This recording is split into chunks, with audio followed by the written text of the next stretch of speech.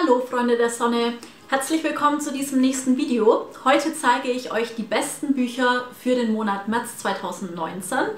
Ja, ich habe dieses Mal wieder gesucht, ich bin die Bücherlisten durchgegangen und dieses Mal fiel es mir tatsächlich um einige schwerer, Bücher rauszusuchen, die mein Interesse weckten. Das war im Februar anders. Da flogen mir die Bücher förmlich zu. Ich hatte eine riesige Auswahl und dieses Mal, ja, im März waren es einfach nicht so viele, die mich jetzt ansprechen. Aber ich denke, die Auswahl, die ich getroffen habe, ist trotzdem sehr gut. Die Bücher möchte ich auch lesen, wenn auch nicht in naher Zukunft.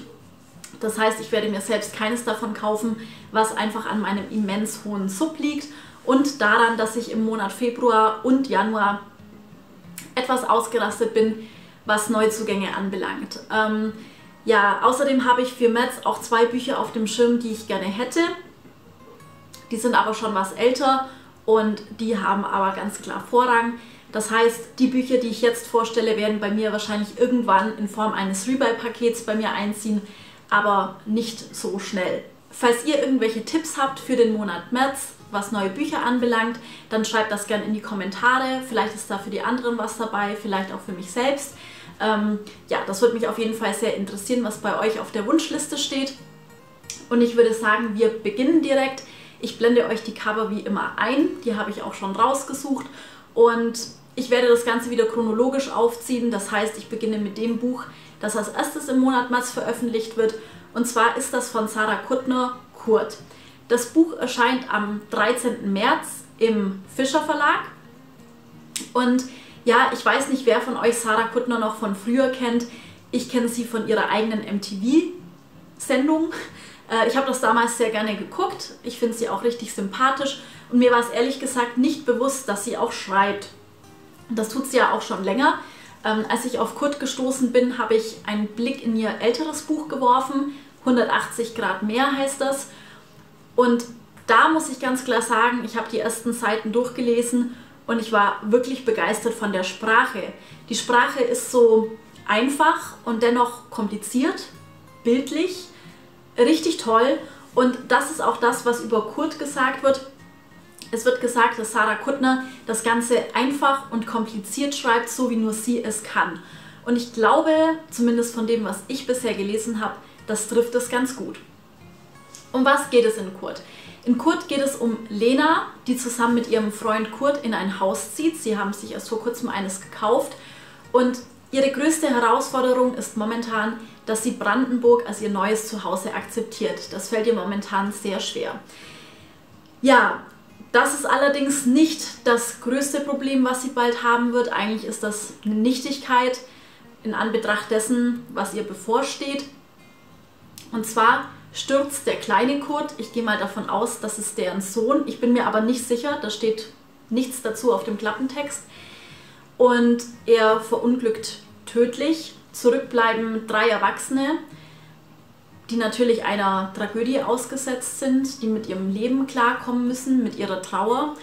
Und Sarah Kuttner beschreibt hier wohl, wie eine ganz normale Familie im schlimmsten Fall der Fälle zusammenhält. Ja, vom Inhalt der Story könnte man jetzt sagen, naja, das ist ja nicht wirklich umfangreich, ne? ziemlich einfach. Ähm, ich denke aber, dass es bei diesem Buch eher darauf ankommen wird, wie die Menschen mit ihren Emotionen umgehen, ähm, ja, wie die zwischenmenschliche Entwicklung untereinander ist.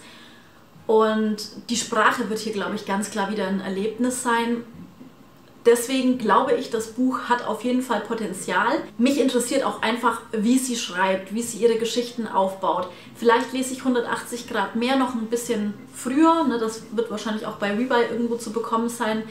Und ja, ich möchte mir einfach ein Bild von ihr machen als Autorin, als Schriftstellerin. Deswegen bin ich da sehr gespannt darauf.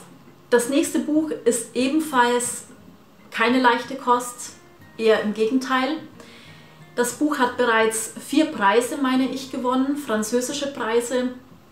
Es handelt sich auch um einen französischen Autor, und zwar Philippe Lancon. Das Buch heißt Der Fetzen, erscheint am 14. März im Tropenverlag. Ja, wer ist Philippe Lancon? Ich weiß nicht, wer von euch schon was von ihm gehört hat. Er ist Journalist und Schriftsteller und auch Mitwirker des Magazins, des Satire-Magazins Charlie Hebdo. Und ich denke, da hat man dann auch schon gewisse Assoziationen. Es geht hier um das Attentat am 7. Januar 2015.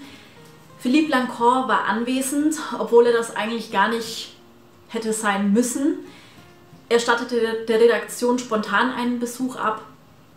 Und ja, zu dieser Zeit traten die maskierten Männer in die Redaktion ein, äh, töteten einige seiner Kollegen, viele seiner Kollegen und schossen ihm wohl auch durch seinen Unterkiefer.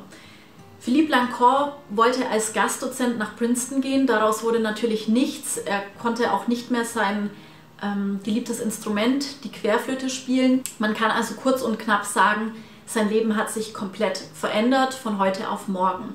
Und zwar nicht nur körperlich, er musste einige Operationen erdulden, ich weiß nicht, ich glaube sogar im zweistelligen Bereich, ähm, damit sein Unterkiefer wiederhergestellt werden konnte sozusagen.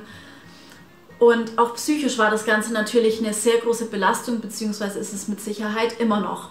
In diesem Buch behandelt er seine Traumata und ich denke, es ist überhaupt nicht leicht, das Ganze zu lesen weil es für uns ja dann auch nochmal sehr nah ist. Ne? Überall auf der Welt passieren schlimme Dinge, das ist ganz klar und da möchte ich auch keine Abstufungen irgendwie treffen. Äh, aber ich denke, das Ganze erreicht uns vielleicht nochmal mehr, ist für uns noch drastischer, weil es eben sozusagen direkt um die Ecke passiert ist.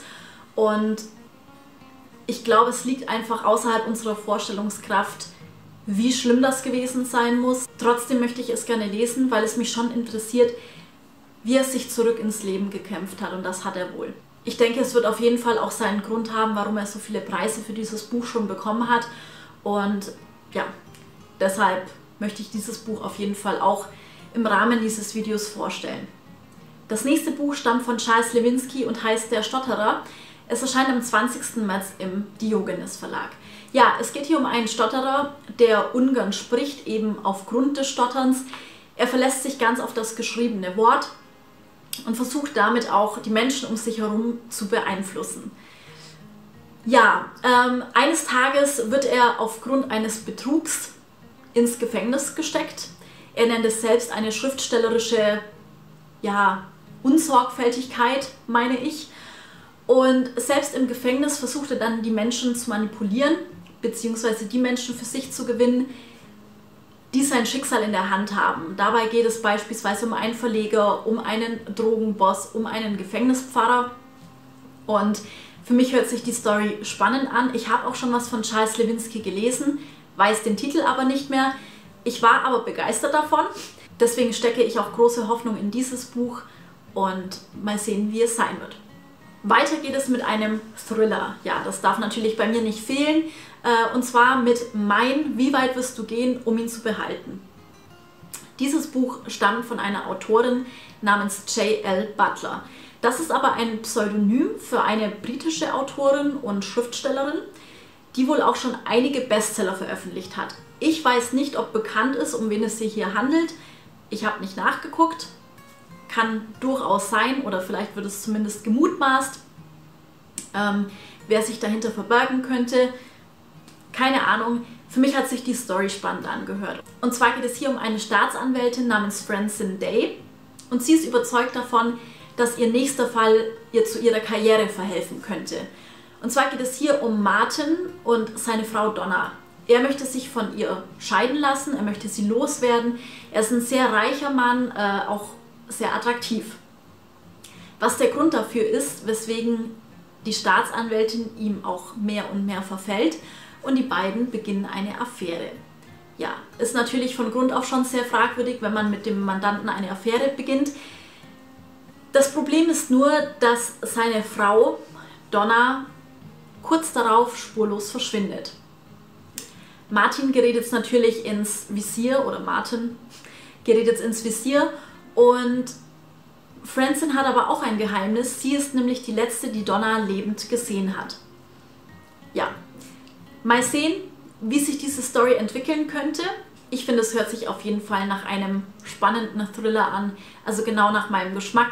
Und vielleicht ist das ja für den einen oder anderen von euch auch etwas. Erscheinen wird dieses Buch am 26. März im Rowold Verlag.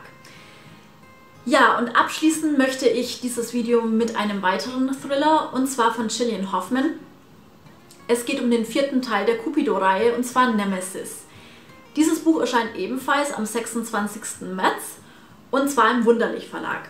Hier geht es um eine Anwältin namens Townsend, und sie entdeckt eines Tages eine Frauenleiche, die mit einem Branding versehen ist. Und zwar handelt es sich bei diesem Branding um einen Blitz, der in einem Kreis ist. Und das spricht wohl für einen Club, der vor einigen Jahren in Florida zugange war und den Bundesstaat in Angst und Schrecken versetzt hat. Ja, dieser Club bzw. die Mitglieder dessen sind dafür bekannt, dass sie sehr viel Geld bezahlen, um via Livestream mit ansehen zu können, wie Frauen vergewaltigt und getötet werden. Also wirklich schon eine sehr krasse Thematik.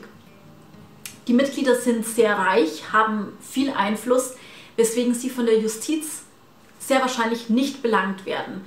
Deswegen sieht sich Townsend gezwungen, die Sache selbst in die Hand zu nehmen. Ja, und währenddessen verschwindet bereits die nächste Frau. Hört sich schlimm an. Äh, Gillian Hoffmans Thriller sind zum Teil ja auch wirklich heftig und das kann ich mir auch bei diesem sehr gut vorstellen. Aber sie hat mich mit ihren Thrillern auch noch nie enttäuscht. Deswegen denke ich, dass das auch ein sehr gutes Buch werden wird. Und das waren auch schon die Bücher, die mich für den Monat März angesprochen haben. Wie gesagt, wenn ihr die Liste ergänzen möchtet, dann tut das gerne in den Kommentaren. Ich freue mich immer über euren Input. Und ansonsten sage ich bis zum nächsten Mal. Macht's gut, habt einen schönen Tag oder Abend und bis bald. Tschüss!